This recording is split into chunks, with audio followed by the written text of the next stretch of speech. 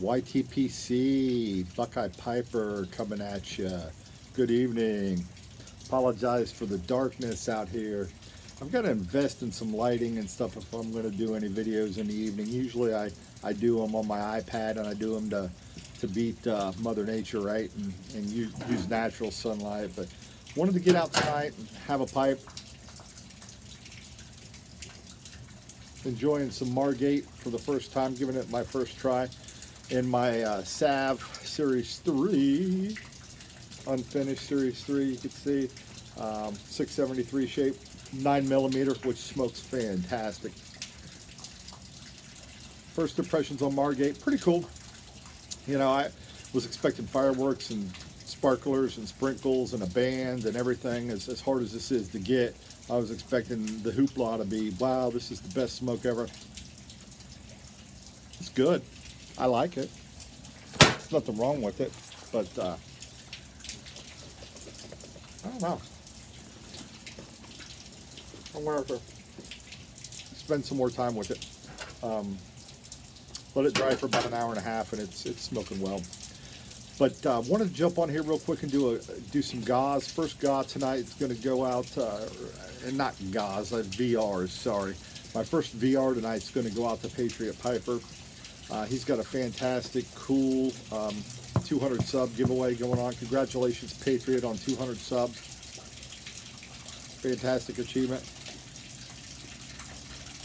Just uh, his question was, what's your favorite OTC blend and what's your least favorite OTC blend?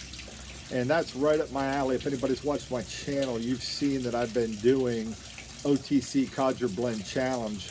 I've through seven rounds as of today have I think six more to go. But right now, without question, my favorite OTC blend is Carter Hall. Really enjoy Carter Hall. Enjoy the chocolate taste. You know, I don't pick up the molasses that people talk about, but the, the smell in the pouch is great. Uh, it burns cool. It, it, it, just, it's a good smoke um, to have on hand. Uh, break in new pipes especially. My least favorite right now, half and half. And I took some heat on that on my channel from the half and half lovers. Um, and I put it in a jar. The half and half I'm going to revisit. Um, I think it was King Rod Piper and I were talking about a week ago, and we, you know, he said, you know, spend six or seven bowls with a blend before you pass judgment. Now, my channel is all initial review videos, right? That's the Codger Challenge, so I rated them as such.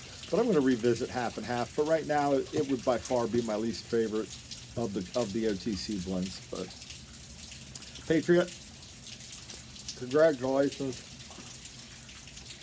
on your subs. Keep up the great work on your channel. Look forward to your, your, your giveaway here. What would be really cool is if you total it up at the end and say, okay, from all my responses, this is what this is what we received. This is this is what the YTP saying is saying is their favorite OTC blend, and this is what they're saying is their least favorite. You're going to get a million answers, and it's going to be tough to do, but maybe cool to do. Anyhow, congratulations on 200 subs. Look forward to seeing uh, more videos in the future, and take care and have a good evening.